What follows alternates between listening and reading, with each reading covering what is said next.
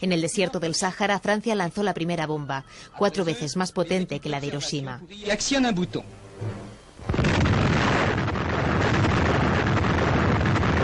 Los que estuvieron allí como personal civil y militar cuentan que lo único que pudieron hacer para protegerse fue taparse los ojos y arrojarse al suelo.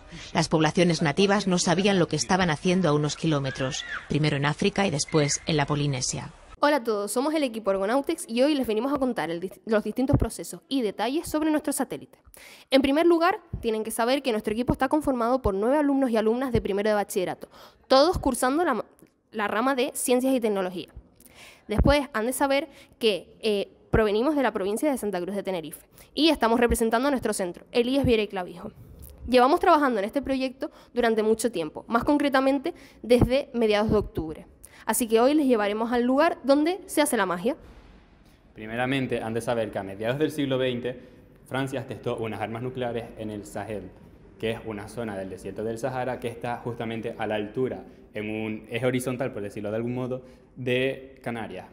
Esto ha provocado que eh, la calima, que es estas partículas de arena en suspensión, eh, traigan eh, junto a esta radiación.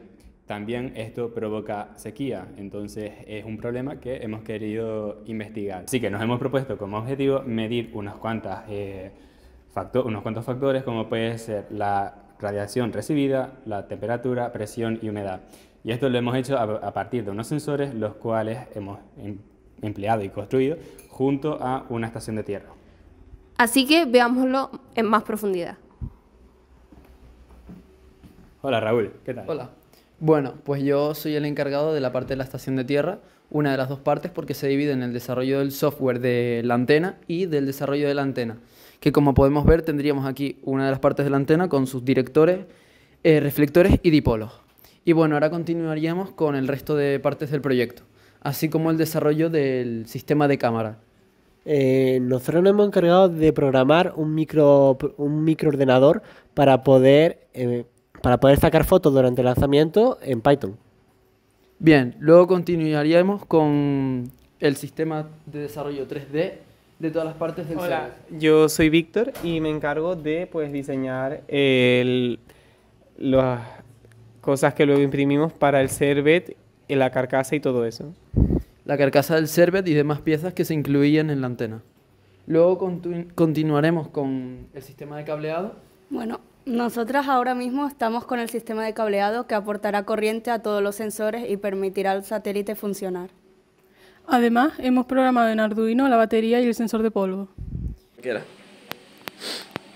Y continuaremos con la parte final del proyecto que se basa en el sensor de radioactividad.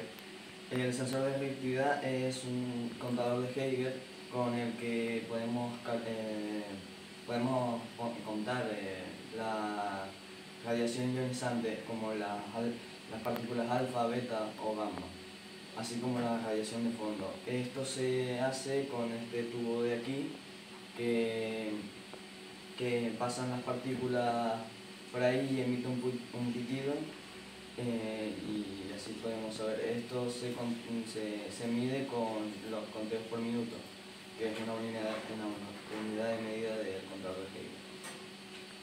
Eh, nos vemos en Zaragoza y esperemos que les haya interesado nuestro proyecto. Nos vemos. Nos vemos. Chao.